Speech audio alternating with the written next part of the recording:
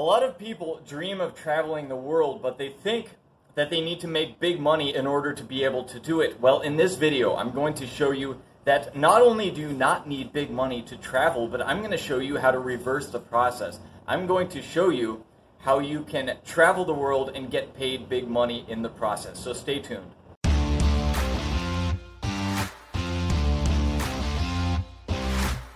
Recently, I was scrolling through my Instagram feed and I saw an ad for a company that was organizing trips for digital nomads, like working and living trips in other countries. And I took a look at the website and I saw like how much money they were charging and these people are making a killing on taking digital nomads to other countries. Now, um, if you don't understand what that means exactly, I'm going to explain later on, so don't worry about that. But um, I thought this is a business model that just about anybody could copy and just about anybody could make a lot of money doing this. So I'm going to teach you, I'm going to walk you step by step through how you can copy this business model and start making money for traveling. There are a lot of people now in the modern workforce that don't come into an office. There are a lot of people that are either working a remote job. Like a lot of companies are hiring remote jobs now. You know, I, I created a uh, expert's guide to finding remote jobs. So I researched this a lot and I was looking at how many new remote jobs are posted in a given day and it's like thousands thousands of new remote jobs are available. So people are taking these jobs, people are working these, these jobs. There are a lot of people now who have location independence who can work from a computer from anywhere. And that's not even counting all the people that are freelancers, all the people that are business owners, um, et cetera, et cetera. So there are a lot of people now that are location independent.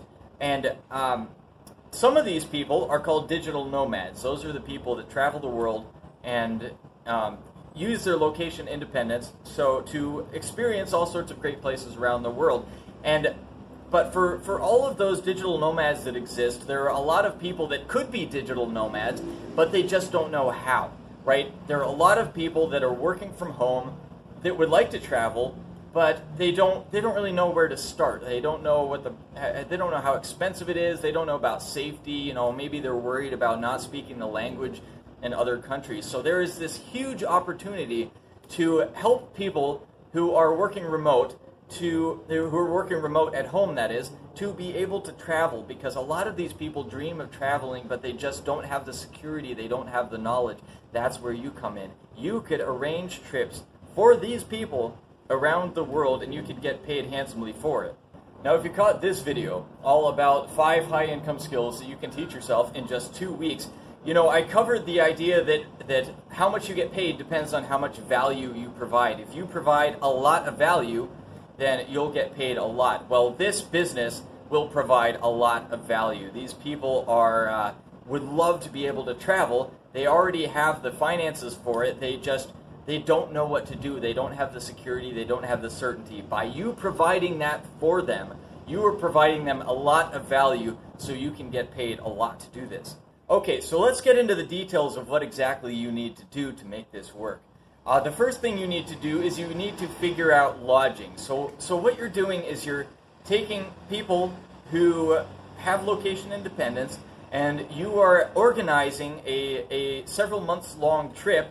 You know, well, the, the term can be up to you. Maybe it's one month, maybe it's three months, maybe it's six months, you know. Usually, if it's digital nomads, it's a little longer than your typical vacation. So it's a matter of months rather than a matter of weeks.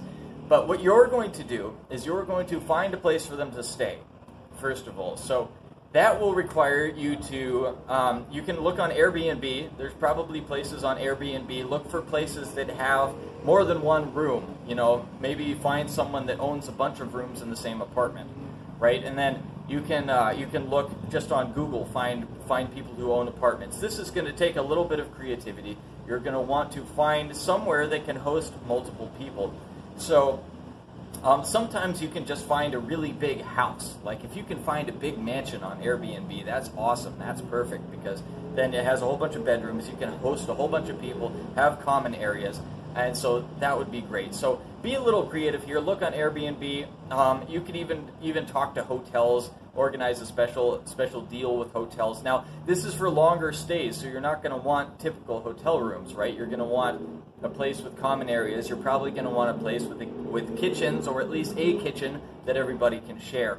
So be a little creative. Look for a place that would be good for a bunch of people for a long period of time, and um, and just if if you don't find a place, if, or if you find a place that looks like it would be good, but it's only one room or something, talk to the owner. You know, send him a message, give him a phone call, ask him if he could accommodate you. Probably you can find some pretty good deals, and even people who are willing to give you special discounts because it's long term and you're buying in bulk. So they'll probably give you even cheaper rates than you would um, otherwise if you were just booking for yourself.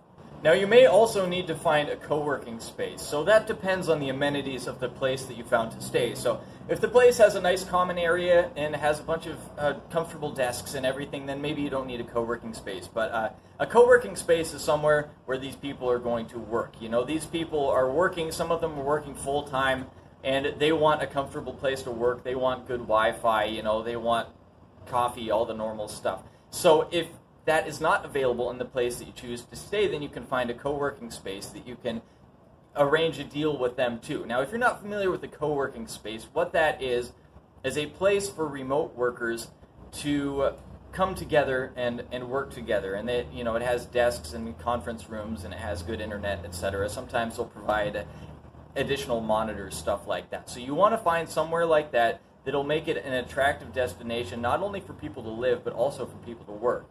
Now, if you're enjoying this video, please go ahead and hit the thumbs up icon and also hit the subscribe button and the little bell icon right beside the subscribe button. You know, especially for content like this where I am telling you exactly what you need to do to start a new business. You know, the people who do it first are the people who are going to have the most success. So hitting that little bell icon will uh, ensure that you are the first to see the new video. And I'm coming out with a lot of new videos that are going to be just like this with a whole bunch of cool ideas that you can implement to make your life better. And if you think that this this video would help somebody else, then please go ahead and share it. Share it in your Facebook, your WhatsApp, your Instagram, whatever it is. Share it with the people who would be blessed by it. Now, there's a bunch of other little miscellaneous stuff that you're going to want to coordinate as well. Remember, these are people who don't really know how to travel to other countries. So you're going to have to figure out like their phone service for them. You're going to figure out their transportation from the airport. You're going to figure out um, their their credit cards and bank accounts, etc.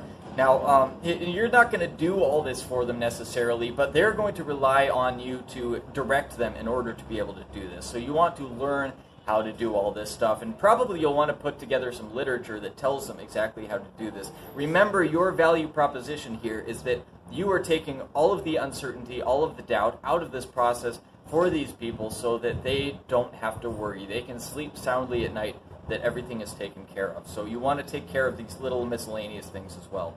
Now, in order to, to be able to provide all this stuff, in order to be able to find the best places on Airbnb, in order to find the, the phone service and the bank accounts and the credit cards and all of this stuff that you need to know to travel efficiently, um, the best resource that you're going to find to teach you how to do that is Digital Nomad University, my own course. I'll put the link down in the description. So check that out. That will teach you all of the stuff that you need to know um, to become a digital nomad, including all of those things that you are going to have to coordinate for your clients if you do this business.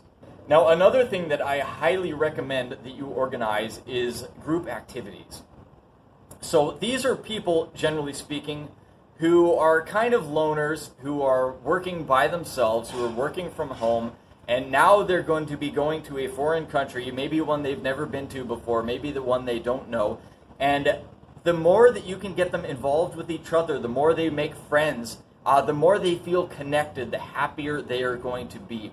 And the happier your clients are, the more they're going to give you good reviews, the more they're going to give you nice testimonials that you can use for your marketing. Uh, the easier your life is going to be, and the more money you can charge if you do these little touches to make sure that everybody's having a good time. Now, I think probably at this point, some of you are thinking, okay, yeah, that sounds cool, but what if I don't know any foreign locations? Well, that is where the beauty of the internet comes in. You can research just about anything. You can research what are the nice areas of town. You can research what are the best things to do in town, right? I mean, there's a million different travel blogs that will teach you the best things to do when you go to a certain city and will tell you what are the safest neighborhoods or what are the richest neighborhoods or you know whatever it is that you're looking for. What are the most uh, artsy neighborhoods if that's what you're going for.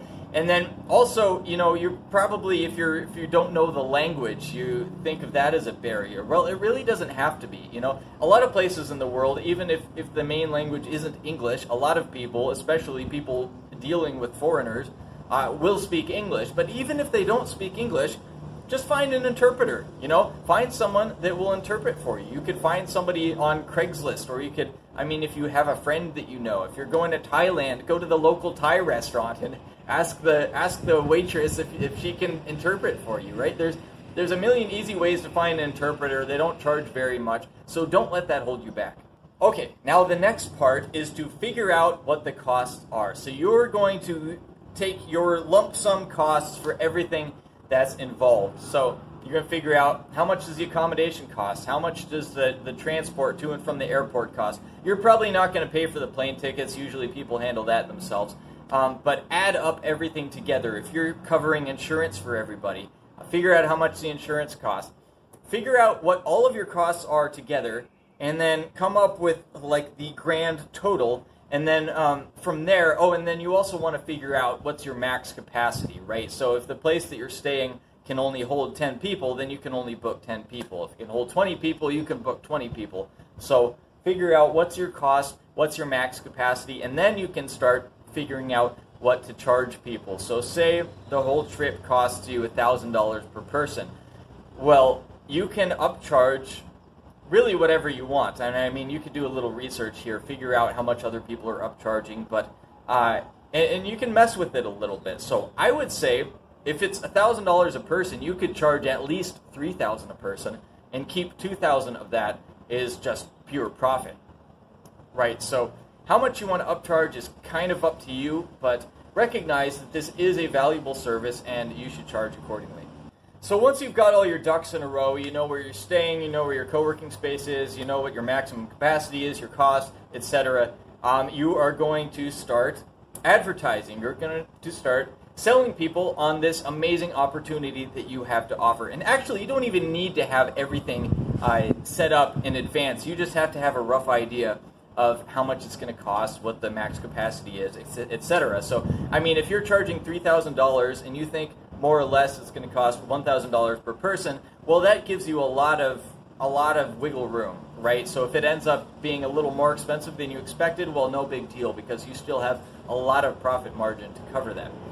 So, how to advertise this? Now, uh, remember when I talked about co-working spaces that there are a lot of people that will go into a, a co-working space, which is a place where people who work remote will go so that they're not just sitting in their house uh, bored all the time. They have a little social interaction, so they have a office environment because they miss that office environment. Well, those people that are already looking at co-working spaces, and there are a whole bunch of these. I mean, in just about every city I've ever been to, I've seen a whole bunch of co-working spaces look for those people. Those are the people that you want to target because you know that those people are making money, that they're working remote, and that they uh, are a little dissatisfied. They want something different. So, one thing you can do is to do AdWords. Um, Google AdWords allows you to target people who are looking for a specific search phrase. So, you can target people who are looking for co working spaces. And you can look for target people who are looking for co-working spaces in certain cities. If they say co-work Tampa, co-work Seattle, co-work Atlanta, etc., and they, you know, any different different uh, keyword phrase that indicates that they're looking for co-working spaces. Of course, you can also look for people who are looking for these uh, digital nomad trips. I don't know if there's a whole lot of people looking at those, but it makes sense to at least try.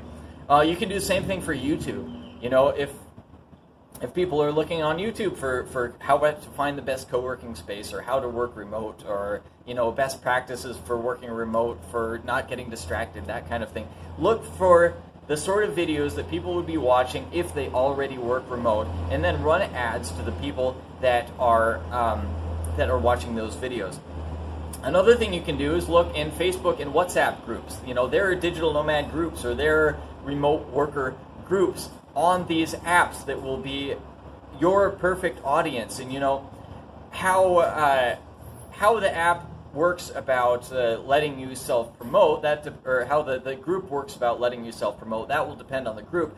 But you could even partner with the um, with the proprietors of these groups, with the people that are running the group. So you just send a message saying, "Hey, I will give you a 10%, 20%, whatever referral fee for if you advertise my uh, my digital nomad trip in your group." And a lot of people will be happy to do that because it gives them a way to monetize this group that they've built.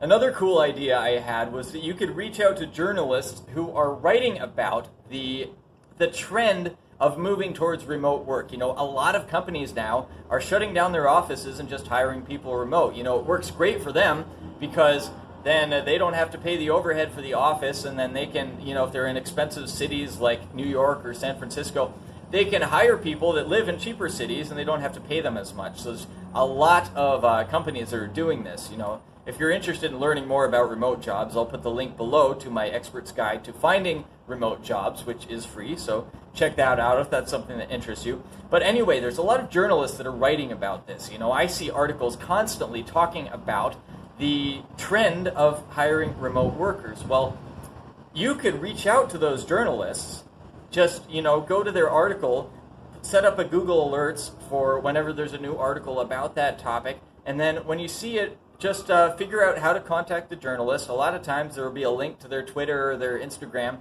that will be in the article itself, and just send a message saying, "Hey, I saw your article and uh, wanted to say I'm I work with a company that that's uh, organizes trips for for remote workers, and if you ever need any any sources, if you ever need any help like writing your articles, then then let me know." And that way, uh, you know, journalists are always looking for new material, and the fact that you are organizing trips for remote workers, well, that's kind of a cool article idea itself. So they will reach out to you and they will link to your page in their article, so you get a whole bunch of free publicity that way. Now, if you caught this video, I told you all about how making money is easy if you believe it is. So I want to ask you guys do you think that this business plan is something that you personally could do? Put in the comments. Tell me, do you think that this is something that you could do and why or why not? I want to hear from you. Now, if you enjoy these kind of videos, if you like these cool ideas for how to make money fast, I think you'll really like this video. All about how you can make a bunch of money on YouTube without any special skills in just a few weeks. So, if you want another cool, complete business plan to make a lot of money in a short amount of time, check out that video now.